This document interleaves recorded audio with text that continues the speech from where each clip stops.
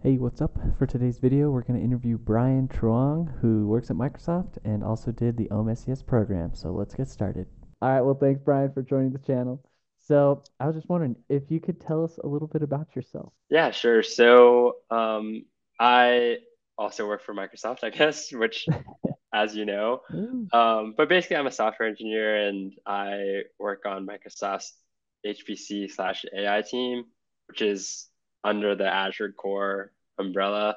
But basically that that basically means the HPC and AI team is responsible for uh, I guess the hardware that goes behind what are traditionally used for like HPC and AI workloads. So the name kind of sounds like we are, are we are the ones doing the AI work, but it's more so we are managing like the the hardware. So specifically, it's nodes that have GPUs. That's generally what is like used to determine if it's like an HPC node or a normal compute node. Uh, and so that's what I do for work right now. I guess going back in time, I'm kind of starting from current to older, I guess. Um, so I did the Georgia Tech Online Masters, which, as yeah. as you know, I guess, is, which is kind of how we connected.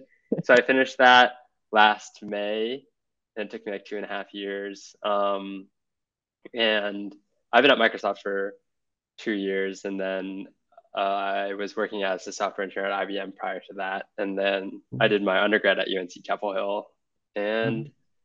I guess that about covers it. I guess let me know if, there, awesome. you want more details on anything. No, that's great. Yeah, that's awesome. So you worked at IBM before Microsoft, and it seems like you transitioned jobs while doing the OMSCS. Is that right? Yeah, exactly. So I was working the whole time. Uh, but once I switched to Microsoft, I was over halfway through with the masters. And at that point, I kind of started taking easier classes with the exception of like grad algorithms, which I guess you kind of have to take late. Yeah, yeah, gotcha. And you did the machine learning specialization, right? Mm-hmm. Nice. Yep, exactly. Okay, cool. So, um, what got you interested in OMSCS to start?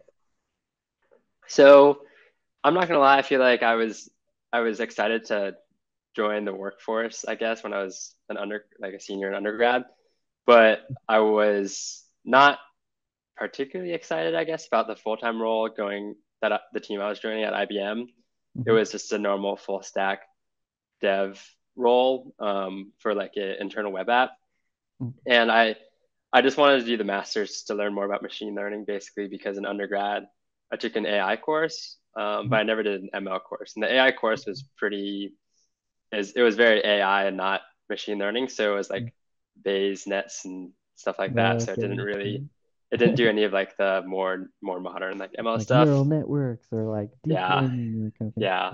And I still don't, I still don't know like that much about that area of machine learning, which which I would like to, but it's hard. I guess once you graduate, I feel like it's yeah. it's hard to make yourself do stuff like that. Right. No, really though. That actually brings us to my next question. Like, what was working full time like while doing the OMSCS?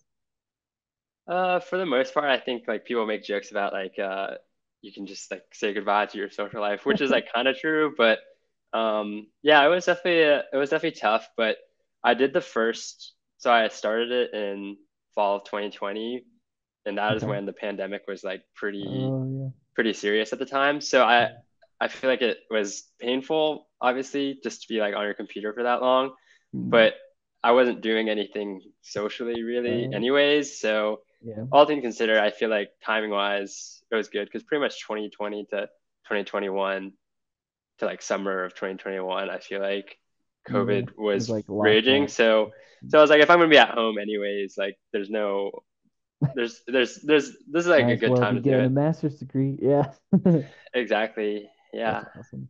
How's it been for you? I guess have you I been mean, working full time most of the time? Yes. So I did work full time most of the time. I took like six months to get used to my job first, and then mm-hmm. I started the program, and it was tough. Like mainly COVID as well happened the same time. Yeah. So actually yeah. during COVID it felt normal. Like oh we're just staying inside anyways. Just got to do homework yeah. at night. But um, definitely happy to be done with that. Just no weekend projects to do. Kind of just if I'm interested in something, you know, maybe work on it like an hour or two, but not like oh yeah, hours like on a Saturday. I know, yeah. that, that was like hard. Yeah, it's honestly I like the program a lot. I think it was good. Uh, I did started out as machine learning, and then I dropped out of graduate algorithms, so I switched to interactive intelligence. But I thought it was really cool just learning on that stuff.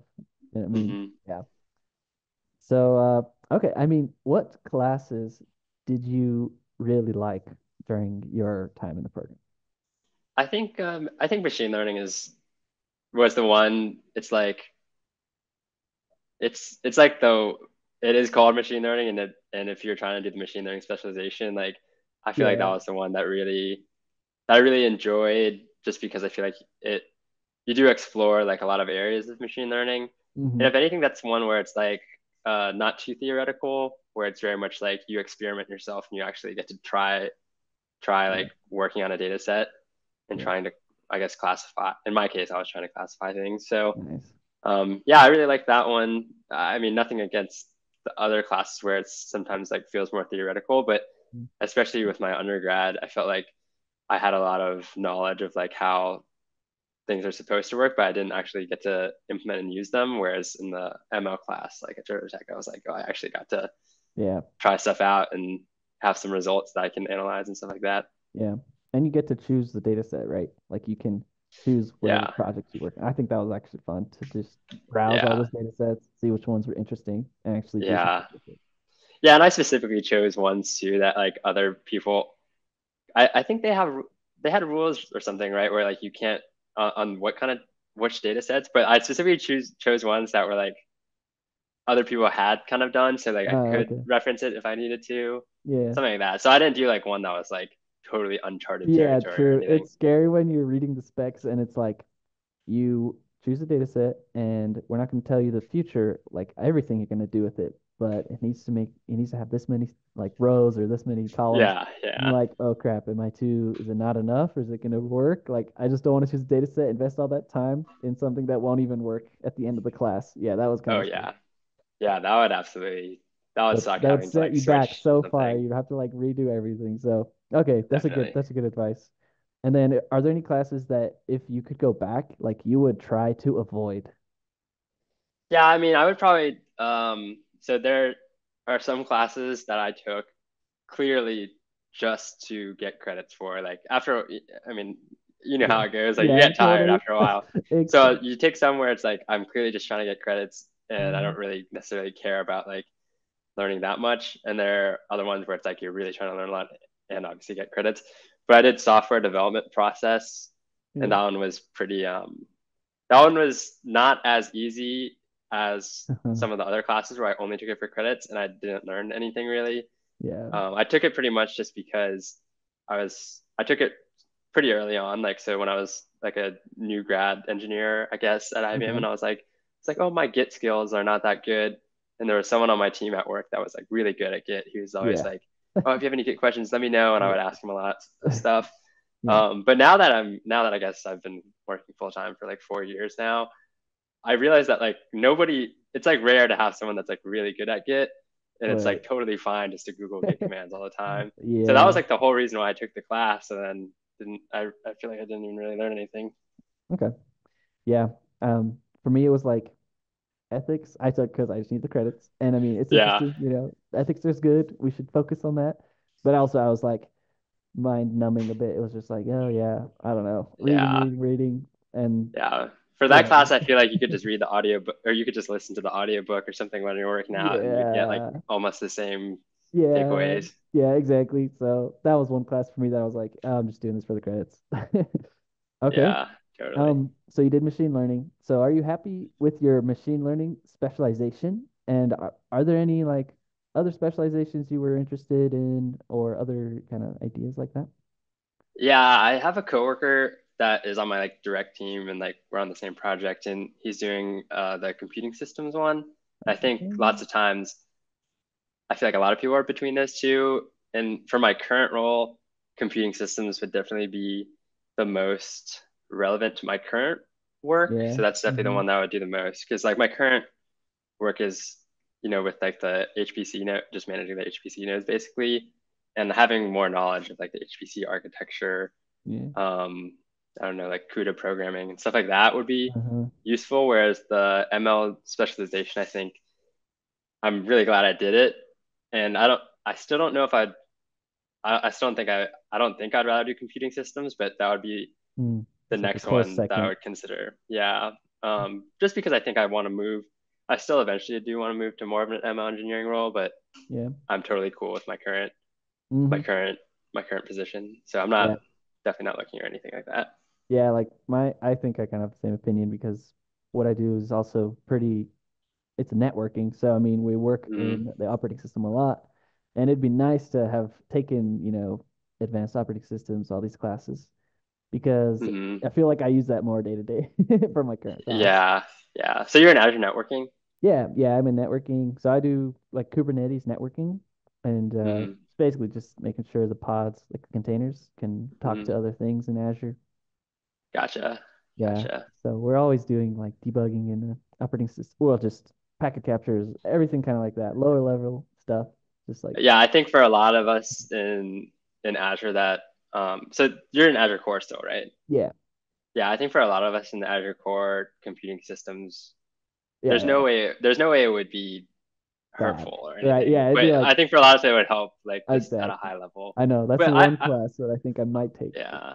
I get scared of I get scared of C though and it, the lower it, level languages. Yeah, yeah. I know it's like something I don't want to face, but in my job sometimes I have to. So I'm like, oh, maybe I should just embrace this. I don't know. yeah. yeah. Yeah. Agreed. Okay.